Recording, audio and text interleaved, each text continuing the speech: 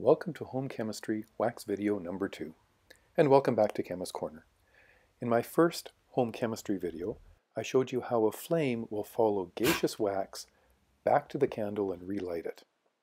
How could I improve on that? Simple. Light two candles at the same time. Thanks for that idea, Jess.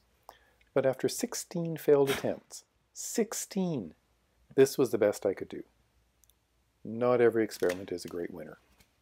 So instead of working with gaseous wax, I decided to work with liquid wax. I melted the orange candle and poured it into some cold water. And simply watch it freeze. Guaranteed to work 100% of the time, and with some very interesting results. Of course, wax is much less dense than water and floats. It is a nonpolar hydrocarbon, so it doesn't want to mix with water at all. Now, if orange is good, red must be much better, right? So I melted a red candle. Here is some very clear evidence that not all candles are created equally. Notice a very different result from the liquid pour. Once again, the wax floats, does not mix with water, and freezes rapidly. Note the different textures that form this time.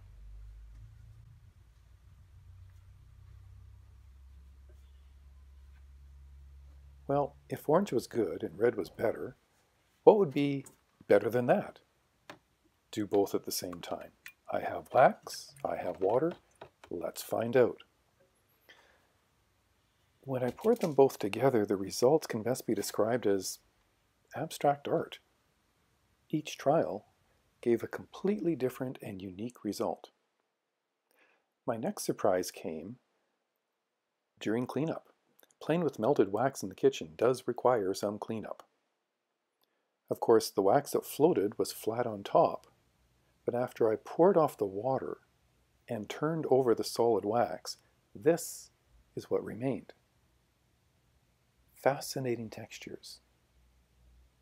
Perhaps even alien landscapes.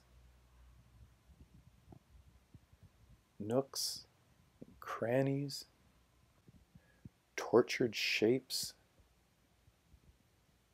modern art, the result of simply adding liquid wax to cold water, modern art, wax sculptures. Even when the wax was spilled, and it did, the spilled wax took on an artistic, modern art feel to it